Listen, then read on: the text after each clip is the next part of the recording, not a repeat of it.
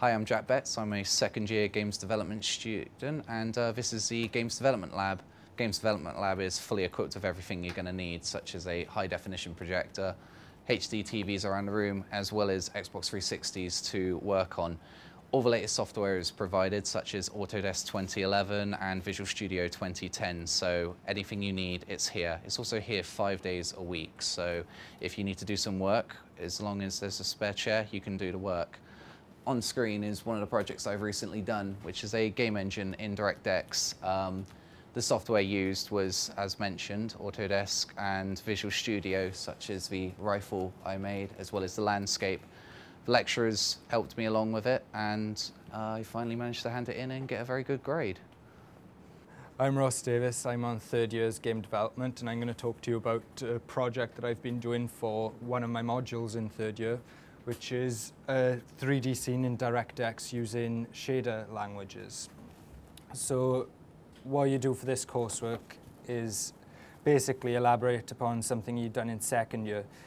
In second year, we done a, two, a 3D scene using OpenGL that used the fixed function pipeline. Um, you're taught all about that in second year, and it's very limited. It comes with a lot of limited functionality, such as the lighting, is very cubed and comes with a lot of flaws. So within the third year, we develop a 3D scene and it's all done from the shader. So we get this nice shaded out approach and it looks very natural. So we take more control over the pipeline. Um, in second year, you also learn how to make 2D scenes which I added upon some game logic into a playable game, which is more fun. And that comes from our first year knowledge that is to create a console-based application that does something graphically and fun. So how long did it actually take you to complete this project? Too long. Um, it took me about 14 solid days to make this because the coursework requirement requires some of the work done in the vertex shader and fragment shader as I decided to do it all from the vertex and fragment shader, which meant I give myself quite a bit more work in order to get a more impressive scene. Like uh, you get the grass moving, which is all done from the pipeline, so that's all done on the graphics cards, so it doesn't infringe upon the CPU, which in modern games is a tactic that's always used. You always have to get as much of the processing into the GPU from the CPU as possible. So how much of this were you actually taught and how much did you have to find out for yourself? A lot of it was taught. We get taught uh, basics of everything. Like we were taught how to render basic grass with no movement and um, that was basically it. It was pointing towards the camera from the CPU which obviously defeats the point of the more modern techniques, which is to do it all in the CPU. And if I actually go above it, it shows the effect falling over because you wouldn't be able to do that in a proper game where there's one quad pointing towards you. And that saves a lot of CPU efficiency because so it's traditionally done was six quads drawn and it appear like as if they were looking at you but was wasting a lot of processor time and rendering time. How much help did you get from the lecturers with this? A lot of help.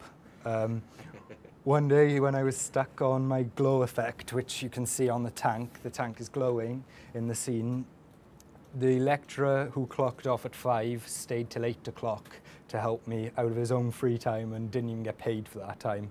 So the lecturers are brilliant on this course. I've always found them incredibly helpful if I ever come into any trouble. So how did you find the first year? The first year, um, I was very interested in programming before I came to first year and also the maths. So the first year was a bit slow for me.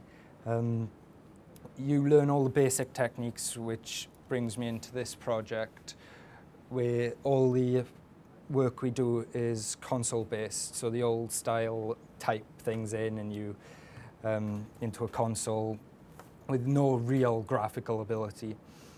And it's fun because you learn loads of new little techniques that you wouldn't have thought of before, but you just can't wait to get into second year where we uh, develop our 2D scenes and uh, start to add the graphics to the games. So tell me about the computers you have access to. Well, first of all, we have quad-core i7s by Intel, which is the top notch of the processors. Then you have 8 gigs of DDR3 RAM, which, as far as I know, comes at 1600 megahertz, which is the fastest you can get for DDR3 at the moment for these ones. We have Windows 7 64-bit, which allows us a lot of power to use the full potential of the RAM. And then we have our graphics card, which is NVIDIA GeForce GTX 285, which is not the newest one, but it's one of the most powerful cards on 2 series. And how does this help you do your work? It helps a lot because we have to do 3D models and graphics, and the CPUs can't really do it. Therefore, the GPU power does come a lot handy, makes the work much, much faster. Like the rendering, the modeling, it helps a lot. Does it only help you with 3D modeling or does it help you with other aspects of work? It does help with modeling because that's the most GPU intensive work. For the processing, it does help to open up faster, but basically it's more of the rendering like DirectX or OpenGL that helps a lot.